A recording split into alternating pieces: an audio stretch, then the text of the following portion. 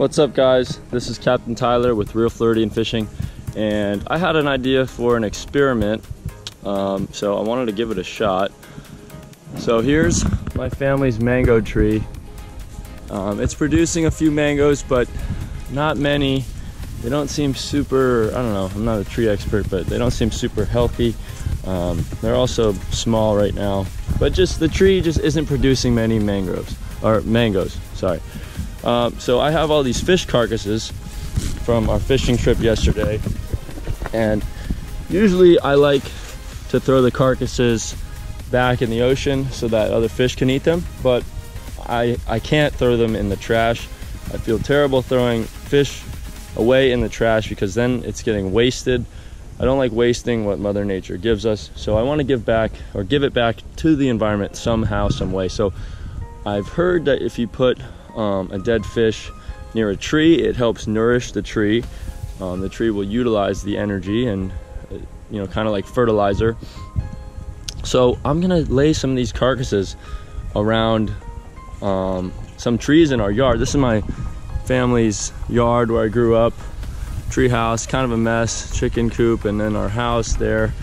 Um, and I'm just gonna, you know, do a little experiment and do some before and after shots because we're going on a camping trip today actually. Um, so I just got these fish cleaned up, ditched these carcasses, and then we're gonna go camping and flats fishing up in um, Sebastian, Florida while this coronavirus epidemic is happening. We're gonna be social distancing, doing some camping. So anyways, I'm gonna take these carcasses. Here they are in a nice Publix bag. Um, we've got, you know, nice porgies, um, all kinds of all kinds of carcasses here. And so I'm gonna, like I said, spread them out amongst um, different trees and see how it goes.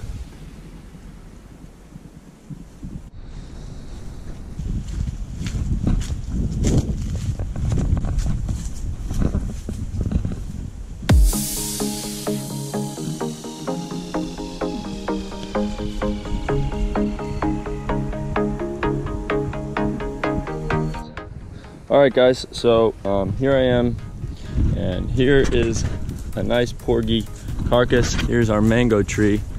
I'm just gonna go ahead and lay this guy right under the tree like that. Um, i may come back with a shovel and bury it. I feel like it should get a little lower down there. Okay here's a bag of fish. Um, here's another porgy from yesterday and we've got you know, we had a garden here. It's kind of overgrown and not been taken care of. So big old garden, nothing much except we found this little tomato plant and it doesn't look very happy. So I'm gonna put a fish here for this tomato plant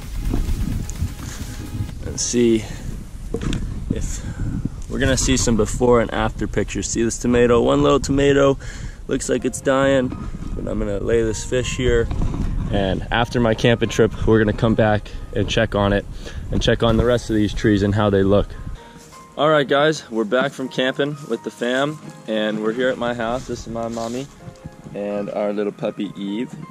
She's super sweet. And this is my dog Jax. He's a lover. And we're gonna go see how those dead fish fertilize that mango tree and those tomatoes. So mom, before you picked those tomatoes the other day? Hey, you stay. You stay. Jax, I'm filming a video. So, again, this is just an experiment. I have no proof or actual knowledge that it helped this tree out at all, but the mangoes definitely look bigger and um, are starting to ripen. There's also a lot more popping up um, these weren't there before, and this tree actually hasn't sprouted mango uh, mangoes in years. I think like three or four years because we trimmed it a little too much or something, and it just didn't sprout. But um, like I said, the mangoes are looking a lot better. It's only been a few days, and you can see where I had that fish. It looks like it's either been taken by animals or um, the trees actually utilize some of the nutrients. And let's see. Okay, so here's where I threw the other fish. As you can see, it's been completely weed eated because it was a big weed pit. The garden kind of took over, the weeds kind of took over the garden. Oh, here it is. Wow. Lot bigger. Definitely healthier. Before, the tips were all brown. Now they're green. The tomato is looking big. It's so big, it the tree can't even hold it up. So, I think that the fish helped the tomato.